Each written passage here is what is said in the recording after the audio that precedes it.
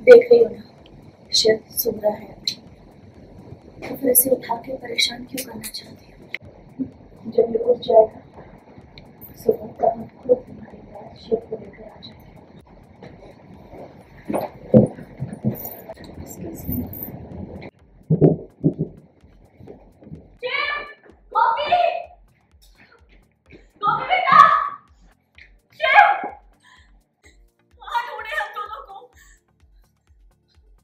कृष्णा ने बच्चों को हाथ लगाने से गौरी को किया इनकार। कृष्णा के सामने बच्चे हुए गायब।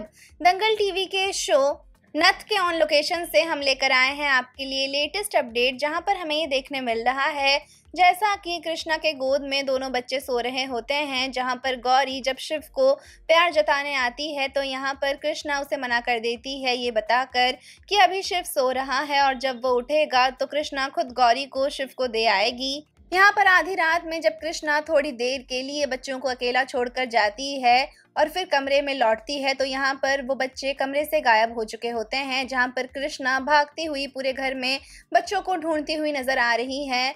यानी कि अब कृष्णा के नज़रों के सामने से ही बच्चे हो चुके हैं गायब, जिसके चलते कृष्णा हो चुकी है बुरी तरीके से परेशान। बल, क्या है आपका कहना? आप हमें ज़रूर बताएँ और हमारे चैनल को सब्सक्राइब करना ना भूलें।